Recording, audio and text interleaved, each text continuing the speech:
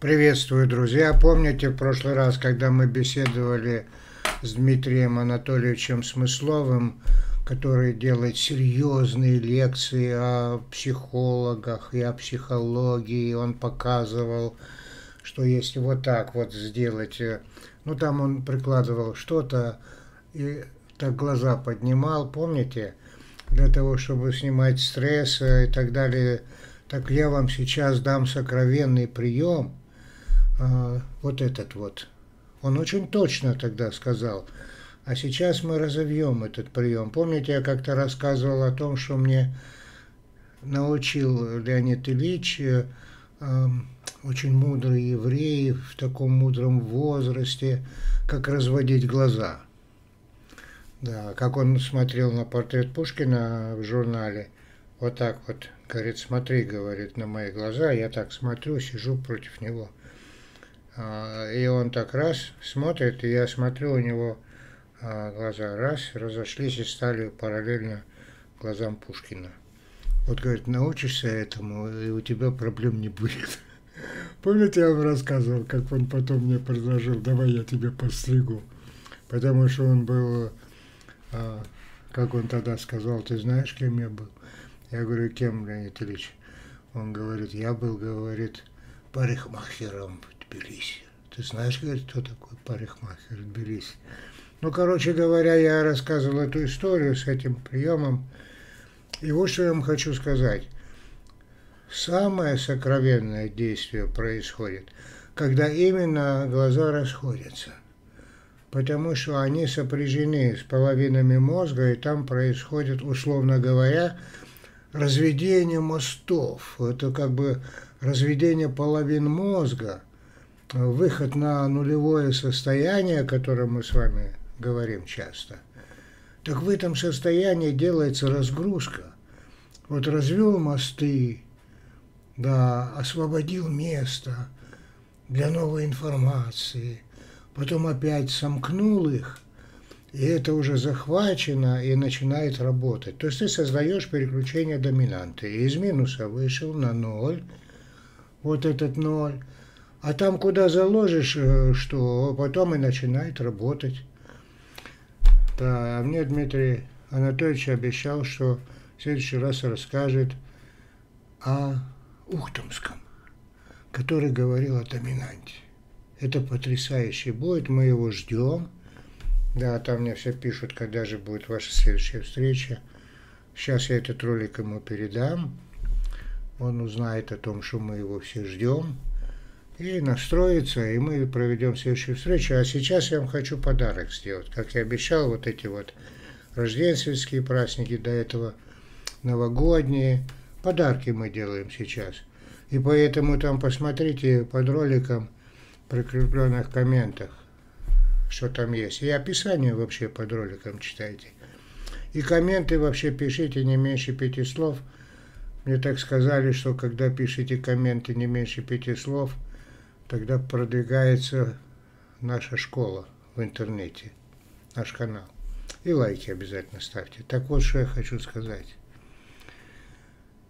Дело в том, что когда вы разводите глаза, освобождаете место, и как на чистом листе можете записать себе новую программу для жизни, вы управляете своей судьбой.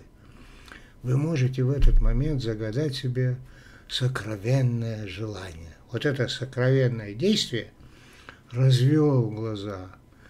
И в этот момент загадать желание, опять сошлись мосты, как говорится, и желание начинает исполняться, потому что это доминанта. Ну, доминанта диктует восприятие ваше, избирательность. Доминанта а, действует на все системы психических и физиологических процессов. Но это ваша судьба. А, поэтому вы можете загадать желание, но я вам хочу подсказать одно желание, которое очень важное для всей жизни, независимо от того, чем бы вы ни занимались. Я так в свое время загадывал желание, разводил руки. Я представлял, что руки расходятся, раз они пошли-пошли, идя рефлекторно – я воображал себе, что буду художником, что буду рисовать только шедевры, Ну да, оно исполнилось, оно сняло блок у меня. Я раньше беспокоился, смогу я быть художником или нет, потому что я кто, а вот высокое искусство где. А тут вдруг я размечтался на фоне разведения рук, а при этом происходит автоматически разведение глаз. Потому что мы при этом выходим из одного состояния и входим в другое состояние.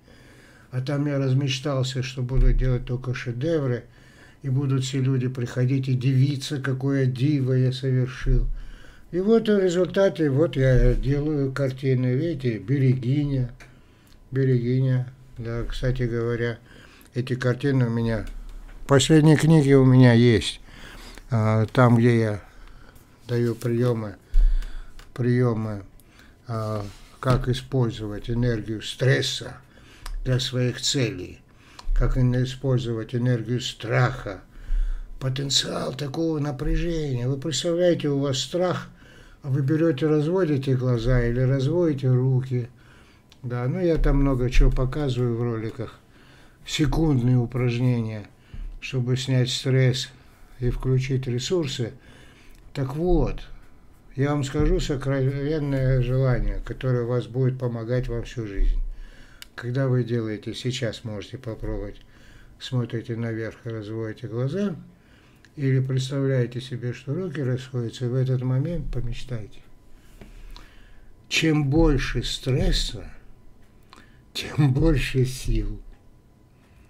Да, и потом, знаете, вы таким образом взяли, освободили э, место для мозга, там освободили, все блоки сняли, создали нулевое состояние безграничности, беспредельности, вечности, безвремения. И там заложили вот эту новую установку то есть предварительное распределение психической энергии на предполагаемую реакцию.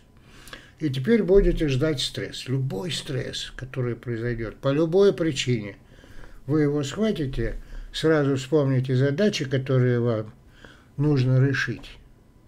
И эта энергия стресса пойдет на решение этих задач. Вы представляете, я вас уже начинаю обучать использовать энергию стресса по своему усмотрению вы становитесь человеком будущего.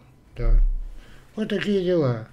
И таким образом я сейчас отправлю эту запись эту Дмитрию Анатольевичу, он посмотрит, и мы проведем с ним следующую встречу. А еще мы проведем встречу с Евгением Каплуном, с диетологом и математиком, который помог мне подобрать шоколад и всем нам будет под, помогать подбирать подбирать то, что нам нужно. Но ну, у него очень интересная философия, индивидуальный подход. Так что, друзья, у нас много еще будет интересного. До встречи. А это вы сейчас уже можете сделать. Сокровенный прием и сокровенное желание, которое будет помогать вам снимать любые блоки и создавать шедевры в любой области жизни. До встречи.